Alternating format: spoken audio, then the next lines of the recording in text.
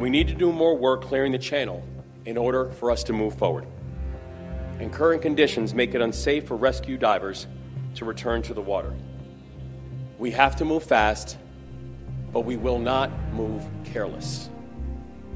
My directive is to complete this mission with no injuries and no casualties. And I want to be clear our work with these families does not end with recovery.